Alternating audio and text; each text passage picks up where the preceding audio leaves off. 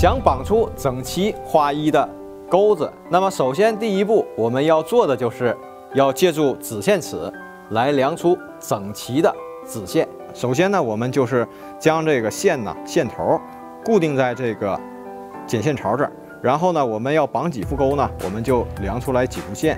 比如说现在我量出来三副钩，三副子线。好，量好了之后呢，我们就用剪刀从这个剪线槽这儿。将线剪断，剪完之后我们会发现啊，如果是普通的线，难免呢两端还是不齐。那么我们可以进一步的啊，在两端再继续修剪，让它剪齐。这样捋直了以后，尽可能的让它整齐。修剪过后呢，我们这样就可以确保我们绑出来的子线就非常的整齐了。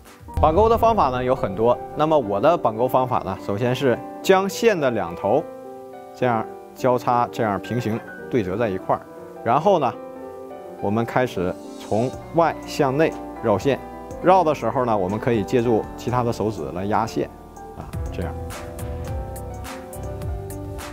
一般我们钓小鱼的时候呢，绕个七八圈就可以了。如果是钓大鱼的话，我们也可以。多绕几圈，比如说十一圈啊，十二圈，这样都可以。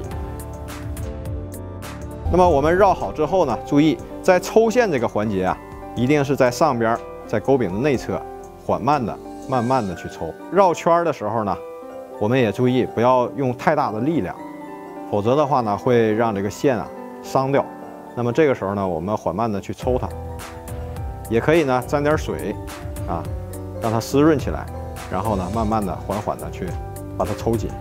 抽紧之后呢，我们可以呢，先用手钳子啊，这样上下啊，两头线紧一紧。我们会发现啊，无论是长线还是短线呢，它都要在这个钩柄的内侧。这样的话呢，我们中鱼之后呢，才不会出现中途脱钩跑鱼的这种现象。然后这节短线呢，我们需要把它剪断，但是注意呢，不要贴根儿剪断，我们要留有一定的富余。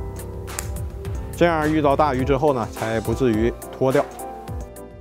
在我们绑第二枚钩子的时候呢，我的第一副钩子留出这样的一个长度，那么我第二副钩子再拴的时候，还是留出等长的长度，这样才能确保每拴出一副子线，它的长度都是一致的。绑好鱼钩的这个线呢，放在上边，然后呢，这段线呢就给它放在下边，绕的时候呢，还是从外向内侧这样去绕。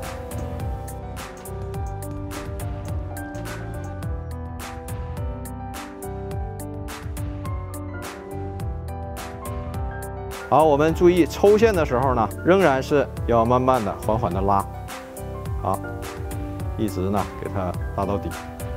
这个时候呢，大家还是要注意，无论是长线、短线呢，都要在钩柄的内侧。剪线的时候呢，仍然要留有一定的富裕。好，至此呢，我们这副钩子呢就已经拴好了。